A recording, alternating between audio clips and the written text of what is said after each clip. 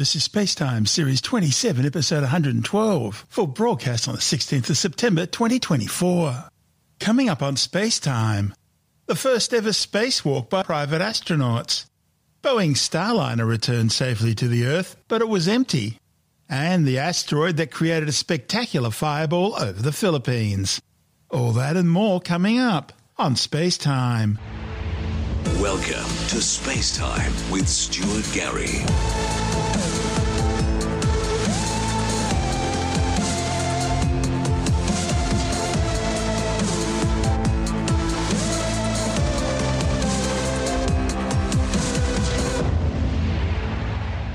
First ever spacewalk by a pair of commercial non government astronauts has been successfully completed. The mission, using a SpaceX Dragon capsule, was launched aboard a Falcon 9 rocket from the Kennedy Space Center in Florida on a flight designed to monitor radiation exposure levels. Minus 10, 9, 8, 7, 6, 5, 4, 3, 2, 1. Ignition, and Falcon, go Polaris. Copy, 1 Alpha. Vehicle is pitching downrange. Stage 1 propulsion is nominal. T plus 35 seconds into the Polaris Dawn mission, flying crew on board Dragon and Falcon 9 to new heights. Power and telemetry nominal. And we're throttling down in preparation throttle down. for max Q. Next call out, the vehicle supersonic. we Got the Polaris 9 Dawn is crew. supersonic. Max Q. We're throttled back throttle up up. to power, One Bravo. And we heard the call out, one Bravo. Copy, 1 Bravo. That just tells the crew what would happen uh, should they need to initiate anything. But right now, everybody making nominal callouts on Falcon 9. MVAC chill is underway. The announcement lets us know we've begun the final chill of the second stage engine in preparation for its activity coming up at about T plus 2 minutes and 40 seconds. Two minutes into flight, everything continues to look good. We'll have in half a minute three major activities shutdown of the nine Merlin 1D engines, stage Stage separation, throttle down. and then ignition of the second stage engine. Throttle down, we're holding a constant acceleration now for the crew just below 4 Gs. See, we're coming up 70 kilometers, preparing for MECO. Main engine cut off. Two Alpha. Stage separation confirmed. Copy. Impact. As you can tell by the cheers behind us, the first stage booster now on its way to attempt landing on just read the instructions. The first stage has not yet reached its apogee. Now, three and a half minutes into the Polaris Dawn mission. First stage continuing to make its way up to its apogee. We'll see that altitude begin to slow down. Dragon SpaceX. Trajectory nominal. Great news there, indicating Dragon copies. that the second stage trajectory is looking good. Now, the grid fins have deployed on the first stage. Once again, Booster is attempting to land on our drone ship. Just read the instructions. Now, the next event coming up will be the entry burn, taking place around T plus seven and a half minutes. This burn will utilize three of the engines on the first stage. That helps to slow the booster down as it re enters the Earth's atmosphere. Dragon SpaceX. Trajectory nominal. Dragon copies. Following the entry burn, we will see the landing burn, and that'll be around T plus nine minutes. That one will be just a single engine burn, and that will bring the booster down for a soft landing on our drone ship. Around the same time as that, we expect to see Dragon injected into orbit. Everything continuing to look good for second stage there. The crew settling Dragon quite SpaceX. Trajectory nominal. Dragon copies. Crew seems pretty comfortable there at T plus six minutes. They're at about four Gs, and everything looks good. First stage continuing its descent back down to planet Earth. Everything continuing to look great with the second stage engine burn there, as well as the. Dragon SpaceX. Trajectory nominal. Dragon copies. We're about 30 seconds away from the first stage entry burn. This is the first of two burns that the first stage will perform, designed to help reduce the amount of drag experienced by the first stage.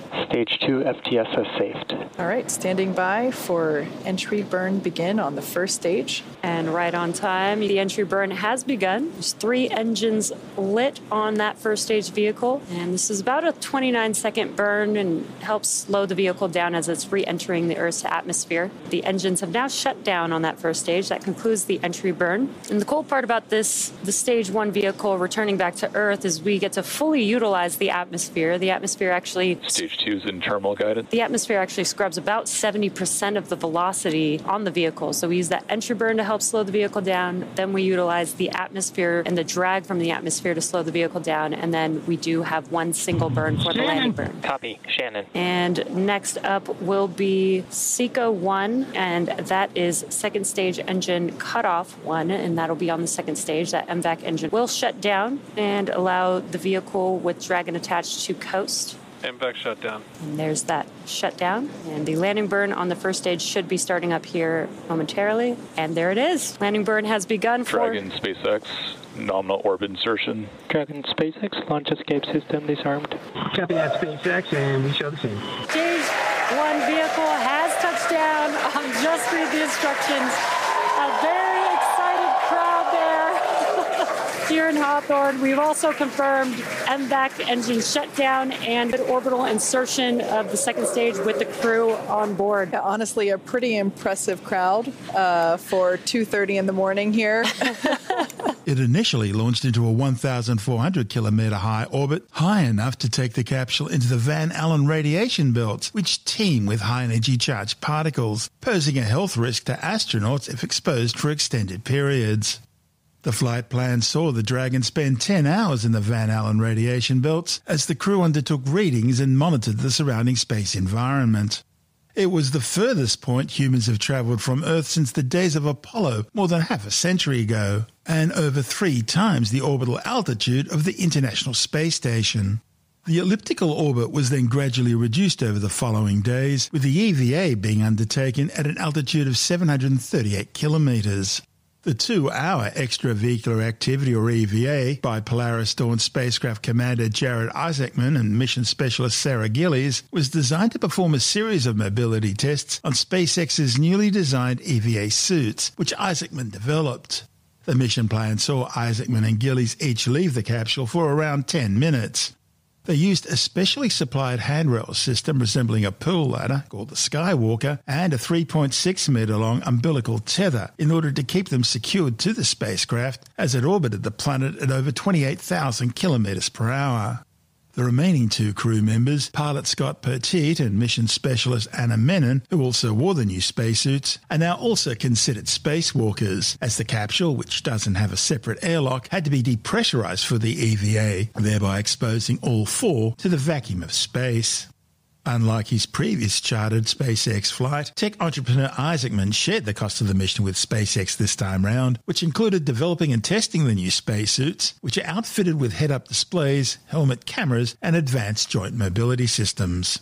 This report from SpaceX. An EVA suit is an extravehicular activity suit, which is a spacesuit that can go outside of the spacecraft to do a spacewalk. We started with the IVA suit that we have, the intravehicular activity suit, as a kind of starting point and looked at it and said, what would we have to change about this to be able to support a spacewalk? So the first is mobility. Um, the crew will have to do a lot of moving around inside of Dragon to get outside and do the spacewalk. We had to add in new joints um, and new features in the suit to allow them enhanced mobility while the suit's pressurized. When a crew member is pressurized in the suit, the soft portions of the suit become rigid. They need actual flexure and rotational joints to allow them to move around. It's kind of like a suit of armor uh, made of fabric.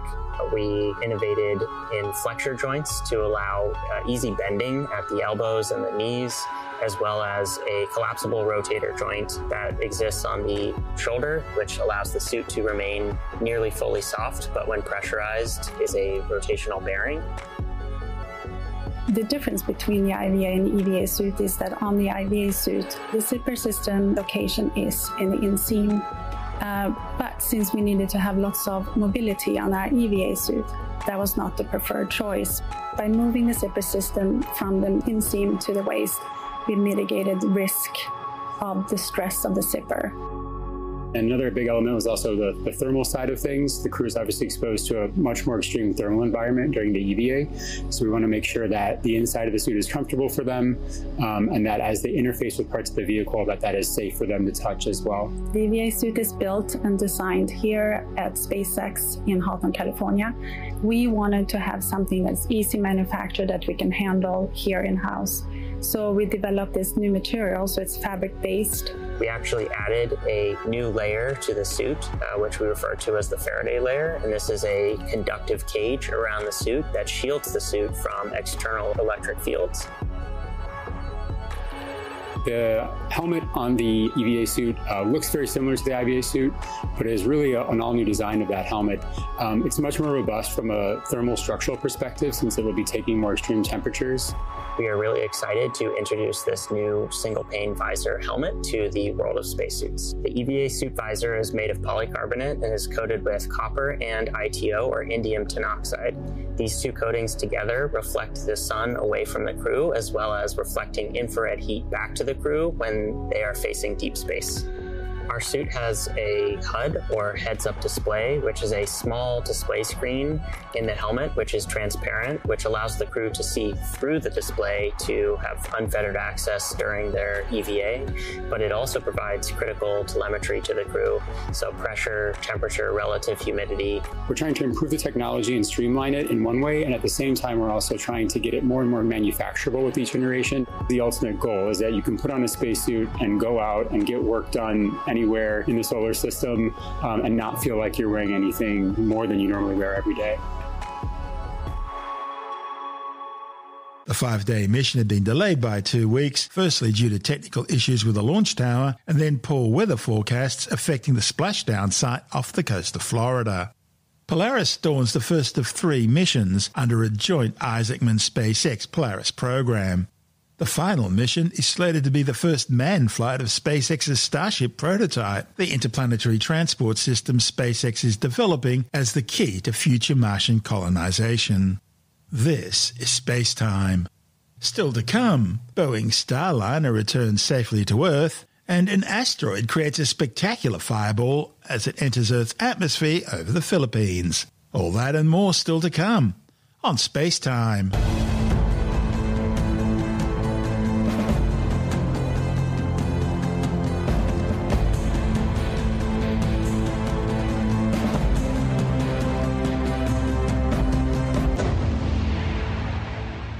Boeing's trouble-plagued Starliner spacecraft has returned safely to Earth, landing unmanned at the White Sands Missile Range in New Mexico.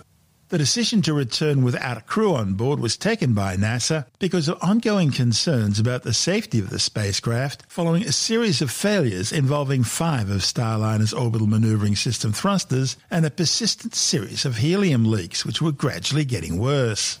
NASA and Boeing issued a go to proceed with the undocking of the spacecraft from the International Space Station pending weather and operational readiness. After Starliner undocked, it executed a powerful breakout burn in order to swiftly clear it from the space station and avoid any risk of collision.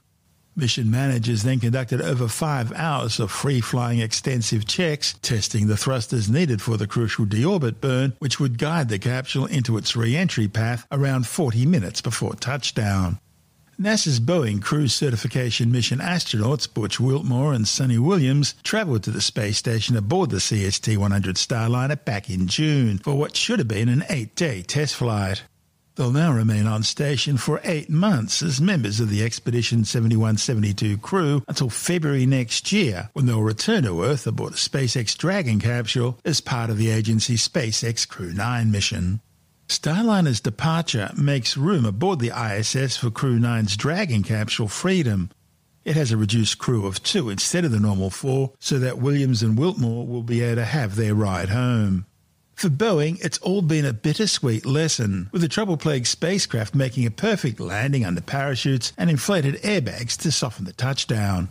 But that follows a long string of failures. Back in 2014, Boeing and SpaceX were each awarded commercial crew contracts by NASA to develop new spacecraft to transport astronauts to the International Space Station. SpaceX were quick to repurpose and further develop their Dragon cargo capsule, which had always been designed as a manned spacecraft. After a series of successful unmanned and then manned test flights to the orbiting outpost, SpaceX began regular crew transport flights in 2020, as well as undertaking a series of commercial manned orbital flights for both space tourism and scientific missions. However, competitor Boeing have been experiencing a series of significant setbacks with their Starliner spacecraft. The mission's first orbital test flight to the space station back in 2019 suffered a number of computer failures, the first of which saw the spacecraft commence its orbital insertion burn too early after the mission clock had been wrongly programmed. And that resulted in its orbital insertion burn taking place too low in altitude to reach the space station.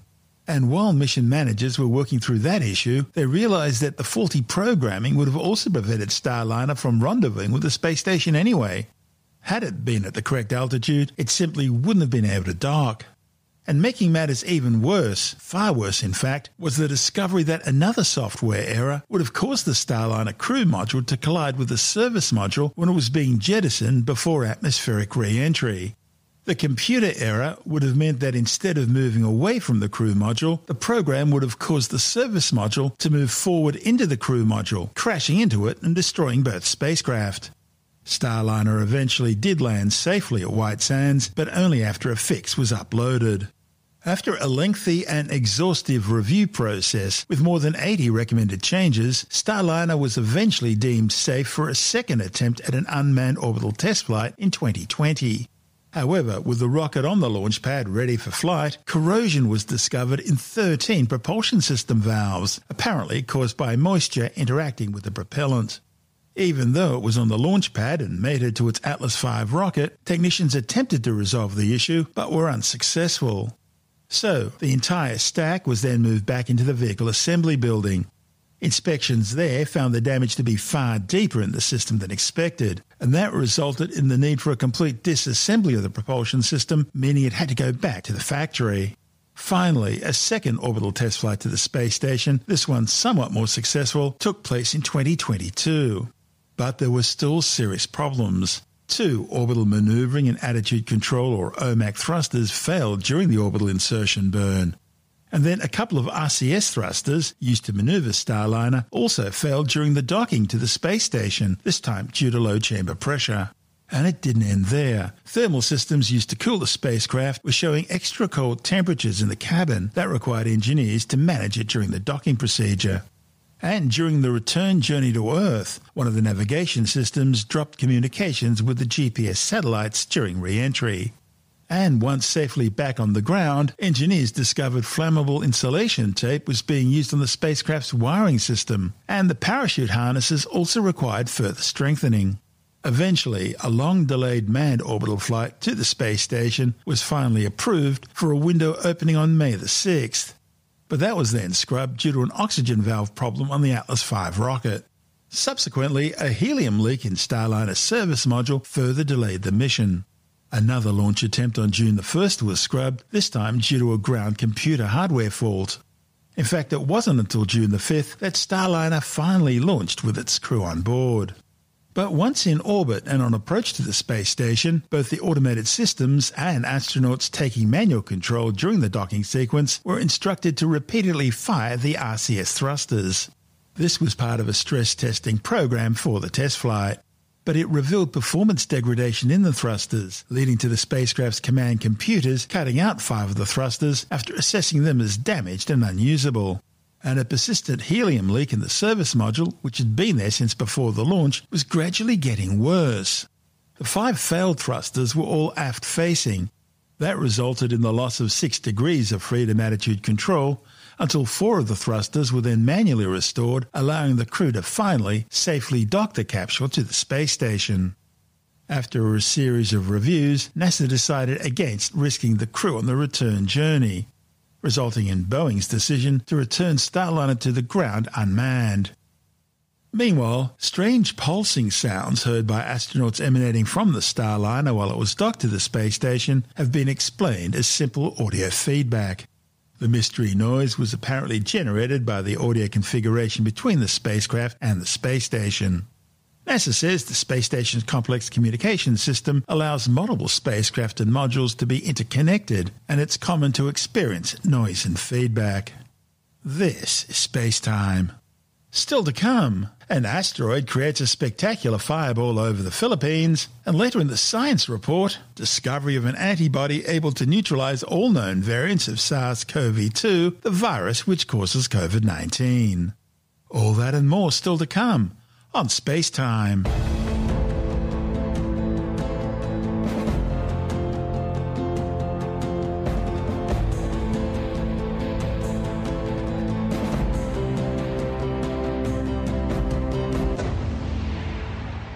Residents in the Philippines have been treated to a spectacular celestial light show as a small asteroid ripped into Earth's atmosphere, burning up during its entry. The bright green fireball didn't cause any harm to people or damage to buildings on the ground, but it did brighten up the skies above the western Pacific Ocean near the Philippines island of Luzon. Astronomers first detected the object just eight hours before its fiery atmospheric entry. The asteroid, designated as 2024 RW1, was discovered by the Catalina Sky Survey, which is operated by the Steward Observatory near Tucson, Arizona. The NASA funded project is run by the University of Arizona as part of the Spacewatch program. It scans the skies looking for potentially hazardous near Earth objects. The European Space Agency says this was only the ninth asteroid ever detected before entering Earth's atmosphere astronomers quickly determined that it was going to hit the Earth, but at just a metre in diameter wasn't likely to survive its fiery journey through Earth's atmosphere. Asteroids the size of 2024 RW1 enter Earth's atmosphere roughly once every two weeks on average. However, astronomers rarely see them coming because of their diminutive size. The last such cosmic encounter was back in January, that's where NASA scientists spotted a similar sized asteroid labelled as 2024 BX1 some three hours before it entered the atmosphere and exploded in the skies above Berlin. That asteroid did make scientific headlines because it was the fastest spinning asteroid ever seen. Small fragments of meteors often reach the Earth's surface after being shattered in airbursts, and astronomers were able to retrieve several fragments from January's Berlin asteroid airburst. From this, they were able to determine that it was a rare aubrite asteroid, possibly up to 4.6 billion years old, making it as old as the solar system. However, the Philippines asteroid's origins are likely to remain a mystery. That's because it airburst over the ocean, and any surviving fragments would have fallen into the sea. However, astronomers should be able to retrace the asteroid's trajectory towards the Earth, and that could reveal some more clues about its origins.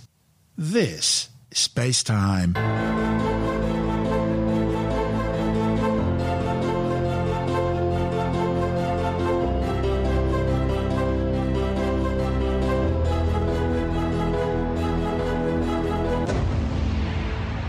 And time now to take a brief look at some of the other stories making news in science this week with the Science Report. Researchers at the University of Texas at Austin have discovered an antibody which is able to neutralize all known variants of SARS CoV 2, the virus which causes COVID 19. The findings published in the journal Cell Reports Medicine also claims the antibody called SC27 can also target more distantly related SARS-like coronaviruses which infect other animals. As part of a new study on hybrid immunity in the virus, the large multi institutional research team discovered and isolated a broadly neutralizing plasma antibody known as SC27 from a single patient. The authors then extracted the molecular sequence of the antibody, opening up the possibility of eventually manufacturing it on a larger scale for future treatments. During the more than four years since the discovery of COVID 19, the virus that causes it has evolved rapidly. And that's been the problem. Each new variant has displayed different characteristics, many of which made them more resistant to vaccines and other treatments. The protective antibodies bind to a part of the virus called the spike protein. It's this spike protein which acts as an anchor point for the virus in order to attach to and infect cells in the body. By blocking the spike protein, the antibodies prevent this interaction and therefore prevent the infection. The World Health Organization says over 7 million people have been killed by the COVID 19 coronavirus since it was first detected among workers at China's Wuhan Institute of Virology back in September 2019. However, a report in the Lancet Medical Journal estimates the true death toll from COVID 19 is likely to be above 18 million, with over 775 million confirmed cases globally. A new study claims that while some species of pterosaurs would flap their wings in order to stay airborne, others would simply soar. Certain birds have the ability to flap their wings to start their flight. They only need to flap occasionally once they're in the air in order to keep them in a stable position. That's what researchers refer to as soaring. Now, a report in the journal Vertebrate Paleontology has found remarkable and rare three dimensional fossils of two different large bodied pterosaur species, which are in such good condition scientists could scan the internal structure of their 10 metre wingspan bones. They found that there were a series of ridges and spirals up and down the bones of one of the behemoths that resemble the structure of vulture wing bones, which suggests that these reptiles could also soar in a similar fashion. Scientists have discovered that almost half of all cats enjoy playing fetch with their human companions. The findings, reported in the journal PLOS One, are based on a survey of pet owners that included more than 8,000 cat owners and nearly 74,000 dog owners. Researchers asked the survey participants whether their pet would sometimes, frequently, or always chase a toy that they had thrown. While 78% of dog owners said their dogs loved to play fetch, 41% of cat owners said their kitty cats also enjoyed the game. They found that in both cats and dogs, females, older pets, and those with health problems were less likely to participate. And the authors found that cats were more likely to play fetch if they lived indoors. Scientists at Monash University have developed a new set of guidelines for assessing research integrity in scientific publications. The world first framework, reported in the Lancet Medical Journal, uses a simple checklist system to help scientists and publishers assess research integrity. It's designed to exclude untrustworthy research during evidence synthesis and clinical guideline development. Tim Mendham from Australian Skeptics says the key to the new system is transparency, where studies ranked by the Integrity Committee as having a moderate or high risk of integrity concerns are clearly documented and authors then contacted to highlight the identified concerns. Now, the problem with sort of academic papers is there are frauds. There might be accidental frauds, there might be know, mistakes, honest mistakes or whatever, or sometimes they can be totally misleading and on purpose. And the issue is how to spot them and what to do about them. A recent study suggested there might be as many as 10,000 research articles retracted during 2023, and they retracted for various reasons. One mainly is that they're wrong, or there's various procedural problems with them, or concerns generally. So, you know, they're not all fakes, but there might just be a, a paper that needs more work and shouldn't have been published. So 10,000 is quite a lot. There's a, there's a lot of papers published every year. So the issue is keeping track of them and what to do if and when you see them. So a group from a Australian university, Monash University in Melbourne, has prepared a set of what they call um, integrity guidelines for publications, for the research institutions, for researchers themselves to use to weed out those papers that might not be absolutely perfect. They have suggested over their research, many perhaps even more than 25% of clinical trials, and this is mainly medical areas we're looking at, 25% of clinical trials have clinical guidelines that may not be trustworthy. That's a, a lot. Obviously, there's the old pressure on university academics and people like that, publish or perish. You have to have these papers written out there to show that you're doing some work, otherwise might not be tenured after a while. What does but, that uh, mean when they say guidelines that are untrustworthy? That means that the researchers are following the rules, but the rules themselves are bad. Yes, yeah. I mean, so, yeah, that's well, yeah. The, the rules themselves are vague half the time. The other, the other time they're not actually followed at all. So there might be good guidelines, but they're not being followed. So it's an issue. There's a group that sets, sets themselves up called Research Integrity and Guidelines and Evidence Synthesis, which must be one of the worst most forced acronyms you can think of. Oh, no, you have not read astronomy papers. You have no idea how bad it gets. It's like people think of the acronym first and then try and think of the words to match it. So, yes, always. Research, always. Research Integrity and Guidelines and Eddie Dents so rigid. Anyway, it's a concern, and it always has been a concern in, in medical areas. And the whole concept, of course, is proving a particular scientific theory. And part of the scientific method is to publish. Publish your papers for peer review. Now, you're supposed to be reviewed before they're published, but also when you put them out into the marketplace, they might be reviewed generally by those people who read and follow the particular publication. Does this work well? Sometimes. There are 10,000 retractions, which means that it, it must be working to a certain extent. There's whistleblowers. Are there enough facilities within the publications? That's a good question question. It's up to them, really. There are obviously junky publications that will publish anything. They don't review it at all. But there are others, learned publications. Nature is one that supposedly has a good, should have a, a good system for checking papers, for reviewing them. They've been fooled as well. Yeah, the Lancet, we can probably well, think of some examples. quite uh, some history there. They've made controversy recently with quoting bogus figures regarding uh, the war in Gaza, and uh, nothing like getting your figures from the terrorist organisation for accuracy. And of course, you you can't forget Andrew Wakefield. Yes, Andrew Wakefield, the uh, the anti-vaccination person who created a whole lot of problems and probably deaths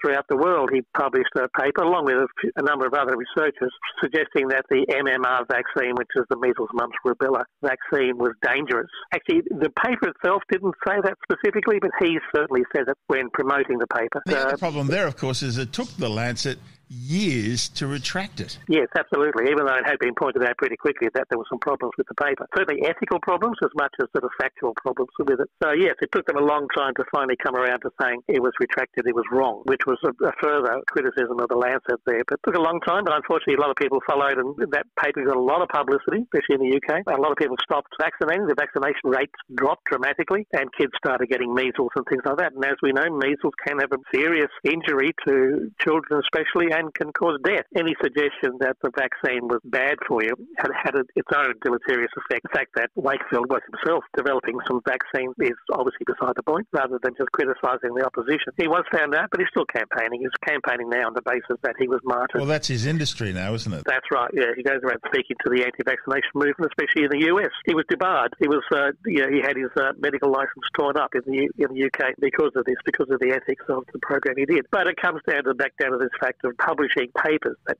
should have been spotted well before they were actually ever reached the printed page. The thing is, we've got this peer review system. It's not perfect, but it's the best we've got. I mean, you've got to trust your peers to uh, seriously look at the work and then critique it as necessary. In journalism, that's what editors do, isn't it, for reporters? That's right. Or sub-editors or the editors, yeah. yeah. they're supposed to check sort of papers. Whether they have the staff to do it, that's the problem. Should there be a... That's, a, that, a cat- that's the huge issue for researchers, isn't it? Is That's there right. Staff Should there be- to actually carry out the peer review work. I mean, Should there the be a peer caveat review on every- Yeah, the peer review work is never glorious. No, it, it's often those people who actually peer review uh, articles and things aren't named, uh, papers they aren't named, and they're, they're not even necessarily known to the researcher. So they're supposed to be anonymous. The peer reviewer is not supposed to know the researcher either, although if you're in a pretty niche area, you might get a good idea. There are occasions when I've written stories on astronomy topics. I've read the paper and I know there are inaccuracies in the paper, and I've then had to plead my case because what's published in the paper itself isn't accurate to my editor. And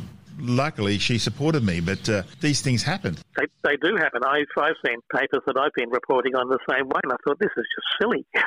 it doesn't follow, or there's a logical problem with the with the uh, research. So it happens. As you say, the peer review process is by no means perfect, but it's the best we have at the moment. That's Tim Mendham from Australian Skeptics.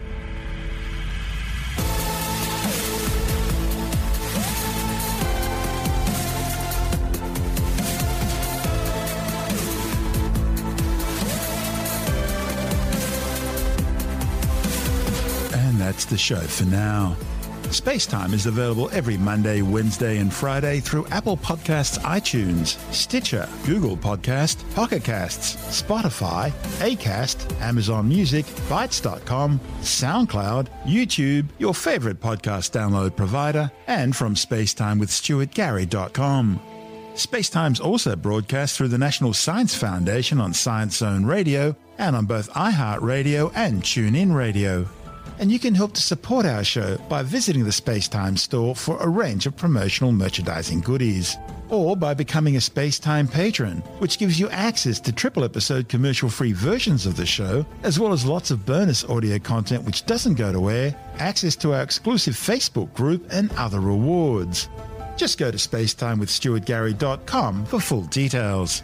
And if you want more space time, please check out our blog where you'll find all the stuff we couldn't fit in the show, as well as heaps of images, news stories, loads of videos, and things on the web I find interesting or amusing. Just go to spacetimewithstuartgary.tumblr.com. That's all one word, and that's Tumblr without the E. You can also follow us through at Stuart Gary on Twitter, at Spacetime with Stuart Gary on Instagram, through our Spacetime YouTube channel, and on Facebook, just go to facebook.com forward slash spacetime with Stuart Gary. You've been listening to Spacetime with Stuart Gary. This has been another quality podcast production from bitesz.com.